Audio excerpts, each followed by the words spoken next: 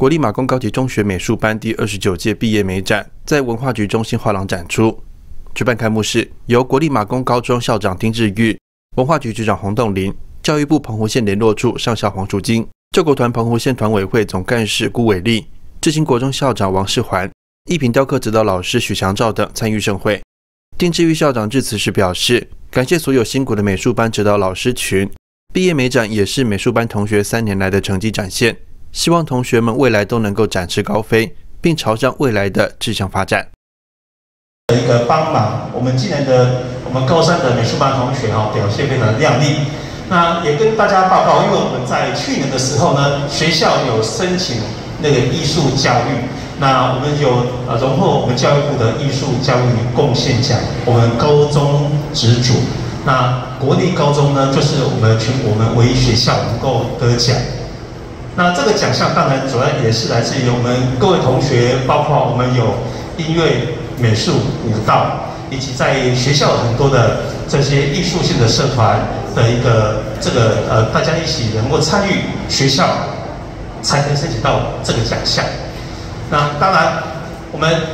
美术班已经很久了。那这边哈，校长有一个小小的想法哈。那我们每一年毕业的同学，你们在这三年中，你们的作品其实都会非常的多。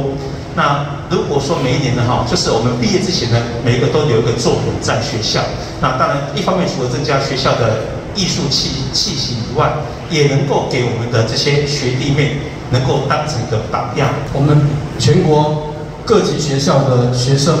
特优的美术作品。曾经在澎湖巡回展演过，那我还记得我们去年的美术班在中心画廊这个地方举办的时候呢，是无尽夏，无尽夏的主题。那今年是夏，代表每一年只要是我们美术班的成果展举办之际，也就是澎湖最热闹，那同时也是夏天美丽的季节的一个到来。我上午。有稍微看了一下几个展场，都有我们每一个毕业同学的策展的专区的。国立马公高中第二十九届美术班毕业生有吴一山、李恩慈、翁华君、曾子提、杨雅婷等十三位同学，在刘桂芬老师、黄天才老师、谢聪明老师等六位教师悉心指导下，素描、水彩、水墨、设计、书法、综合美彩等艺术技法皆卓然有成。都是我们同学。也花费了很多时间跟心力创造出来的，每位同学都想把自己的最好，还有把自己想要把这三年学习来的成果给大家看。也许集中的过程有一些不顺利，但在经过和老师们的沟通与协调，还有改进之后呢，每个同还有同学之间的互相支持和鼓励，大家都顺利的把作品做出来。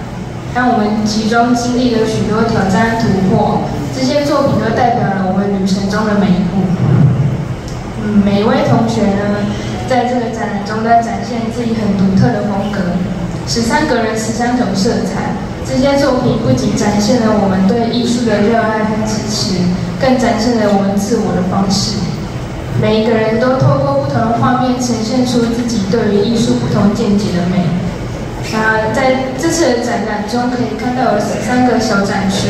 那每一个展区里面都是同学每个人的作品，有实践作品。那大家都在每个小空间里面，都可以体验到每一位同学的个别对于艺术美的呈现。